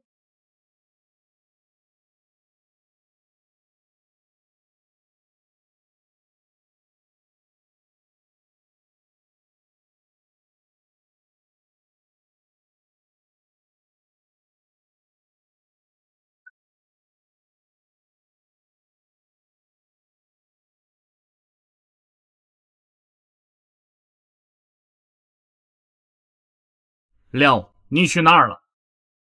坎德拉将军，我说过，六角大楼那些人都是一群废物。既然他们搞不定陈星火，那我只好自己出马了。你在哪儿？我就在北城，距离陈星火不到二十公里。刘威廉，你给我听手！他现在是龙国重点保护目标。如果他出了什么事，龙国跟我们开战。开战？茫茫英国竟然会害怕开战？你们是得罪了龙国，龙国会直接禁止向你们出口癌症治疗仪吧？去重置。刘伟良，我告诉你，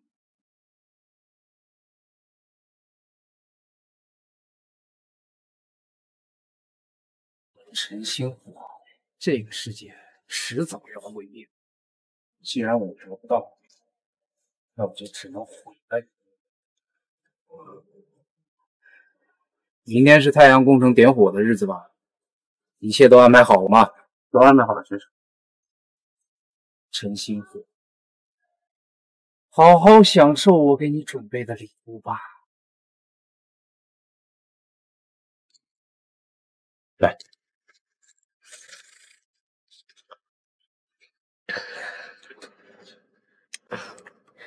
星火，如果没有你，我就醒不过来了。哎，要是没有你的话，我哪还有机会坐在这儿？哦，对了，太阳工程二期已经建设的差不多了，明天就要点火了。那那你早点回去吧，晚上演奏精神了，你这一定要马到成功。好，那你好好休息。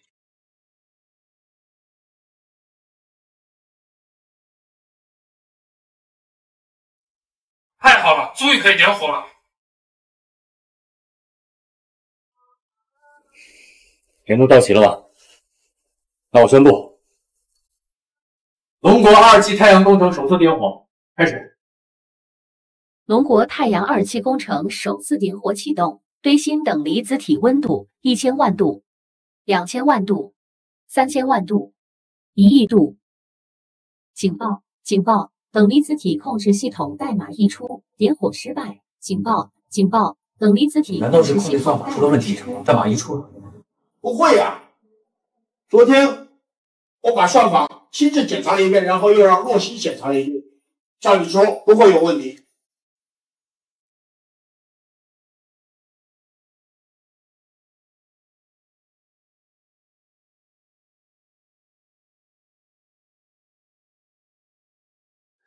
这是什么？星火，对不起，我爸妈在他们手上，我真的没有办法了。若曦，你要干嘛？把车放上。若曦，你还年轻，你千万别干傻事儿啊！是呀，若曦，有什么困难，我们可以商量着来。你这样做实在是辜负了大家对你的希望呀！吴老，对不起，我真的没有办法了。星火，跟我走一趟吧，主人要见你。我跟你走，厉害啊！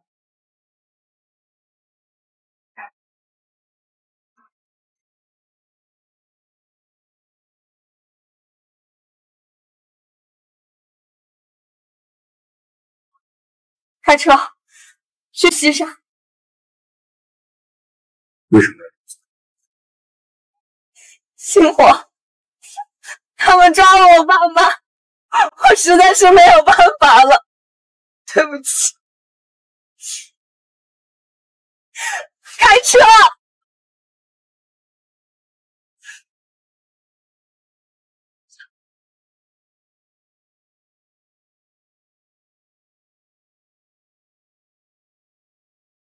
海水水，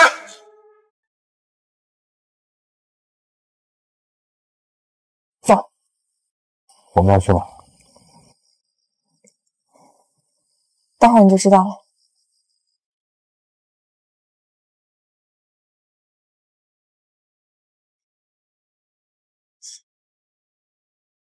爸，爸，不是，赶紧走！榴莲，果然是你。是我的又怎么样？我说过，斗不过我的。榴莲，陈星火我已经给你带到了，现在你可以放我爸妈了吧？楚小姐果然是信守承诺之人。不过，我现在放了你，不是觉得有点可惜吗？刘威廉，你还想干什么？我想干什么？榴莲，有什么问题你冲我来，放了他们。怎么，陈星火？这个女人都已经背叛你了，你还要救她？只要我放了她，黎曼猜想这个女人，你要黎曼猜想做什么？我要黎曼猜想干什么？跟你没有关系。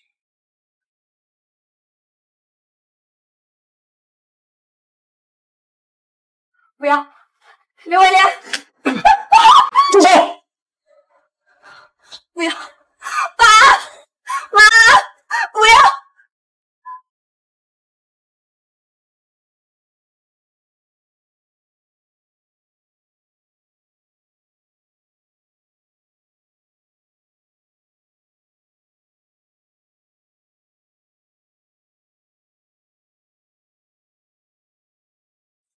陈星火，你果然不愧是我们那个时代最耀眼的天才，还能想到用这种方法证明黎曼猜想。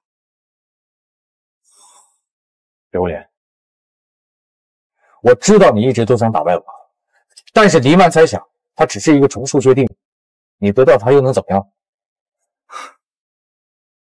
陈星火呀，陈星火，你聪明归聪明。但是太小看黎曼猜想了，什么意思？你应该没接触过反物质吧？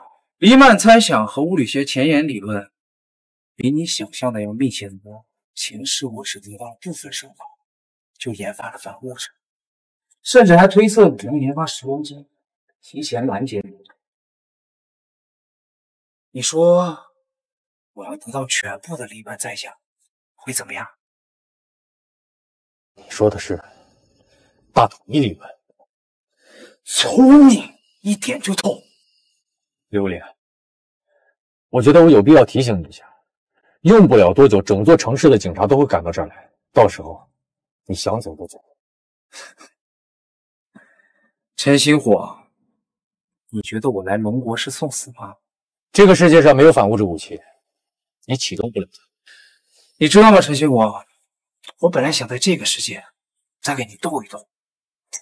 但是我发现我还是斗不过你，没办法了，我只能掀桌子。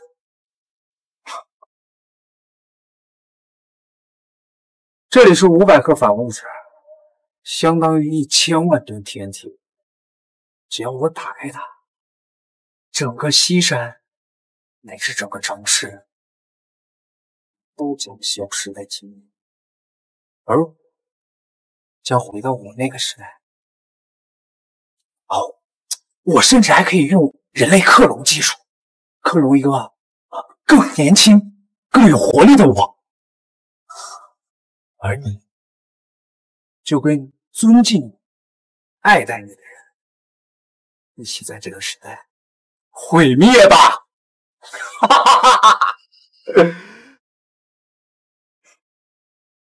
原来这就是你的底气，陈兴武，你什么意思？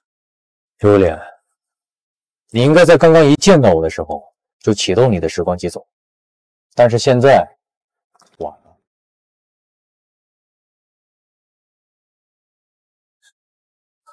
陈兴武，住手！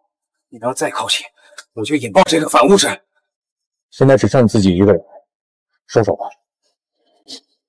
这话，好你个楚云熙，原来你们一直都在联系。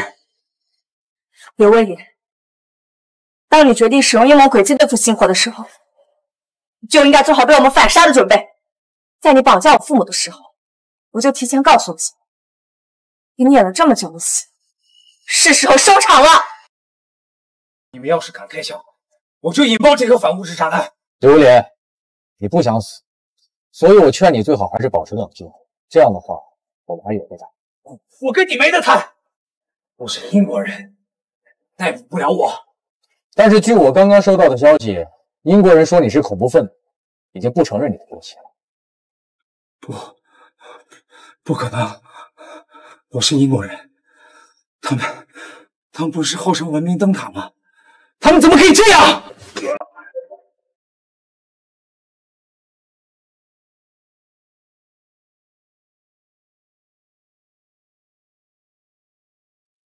我跟你说过，总有一天你会被钉在历史的耻辱柱上。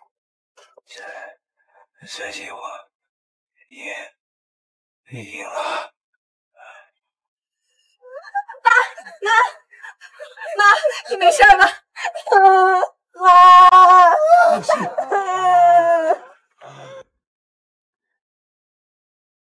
这玩意威力真有这么大？它只会比你想象中威力更大。带回实验室吧。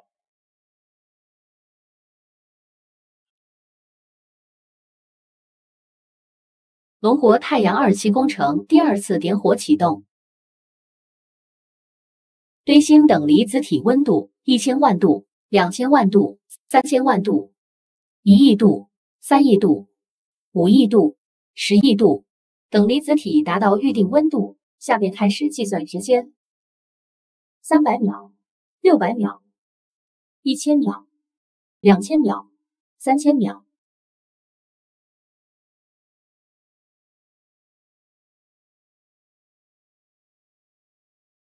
龙国太阳第二次点火工程结束，本次聚变反应时长五千秒，反应温度十亿度。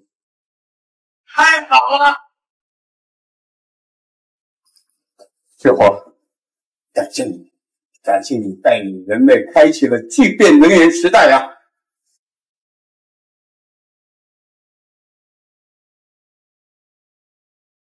真有意思，你带个毛病，你那个毛病。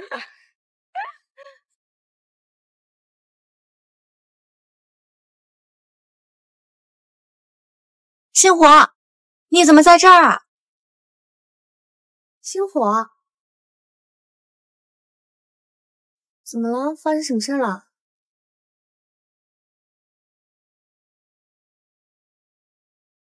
我跟你们说个故事吧。故事？什么故事？在未来的龙国，有一位少年天才，他的智商高达三百人，是有史以来智商最高的人。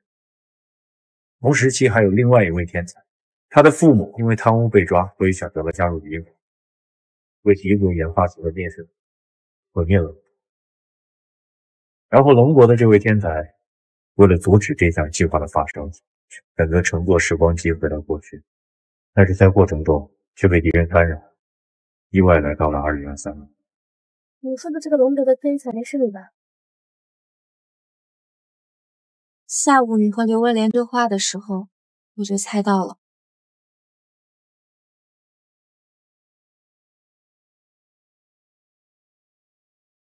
今天下午，刘文莲说黎曼猜想跟大统一理论有关，所以我就有了灵感。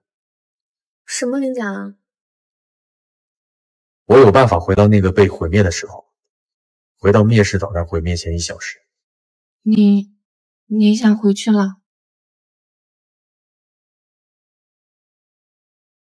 我不是想是我必须要。我尊重你的选择。我也一样。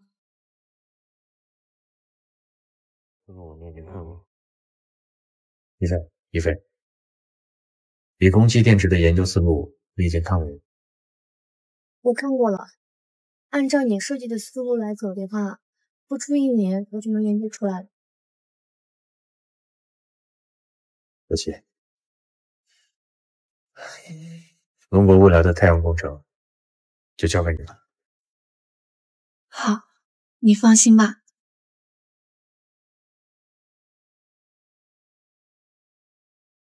那我先走。哎，等一下，你放手，我也要抱。哎，哎，不是，你让开，我你那哎我真要走了！你让开，你干嘛？你别说话别说话，你让我抱一下。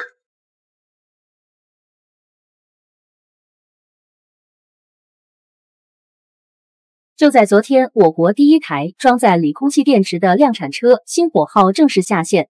该车一次充电续航里程超过一万五千公里，由我国著名数学家、化学家乔伊菲博士主持研制。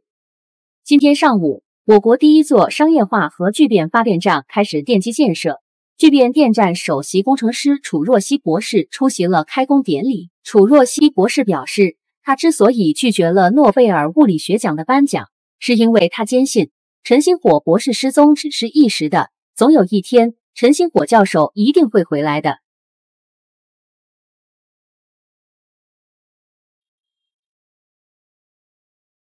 一菲姐，你这花都多久没浇了？都快干死了。哎呀，这段时间不是一直在忙吗？那个锂空气的电池啊，总算是搞下来了，也算是没有辜负那个混蛋的信任。唉，也不知道那家伙最后还能不能回来。这你就放心吧，那家伙啊，吉人自有天相，说不定正在哪个角落里窝着，悄悄看着我们呢。谁啊？快递。